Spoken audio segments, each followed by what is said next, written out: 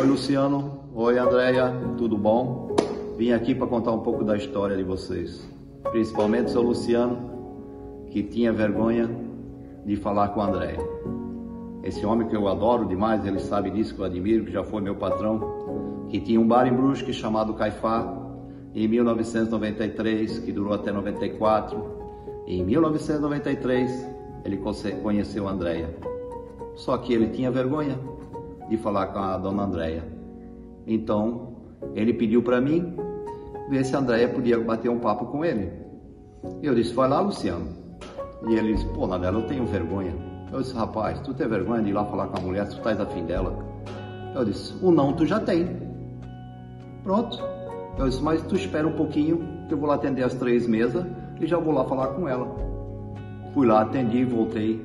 Andréia, isso um domingo à tarde. Andréia, o Luciano quer bater um papo contigo, tem algum problema? Não, Nadela, pode vir.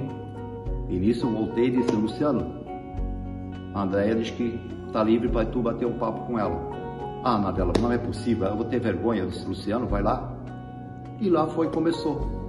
Começaram, uma semana depois, os dois começaram a namorar. E estão juntos até hoje. 1993.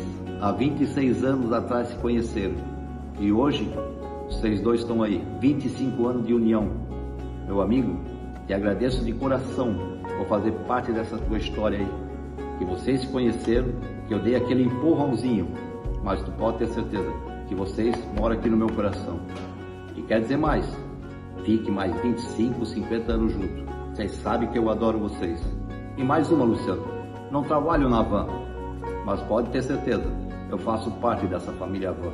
Valeu, um abraço e tudo de bom.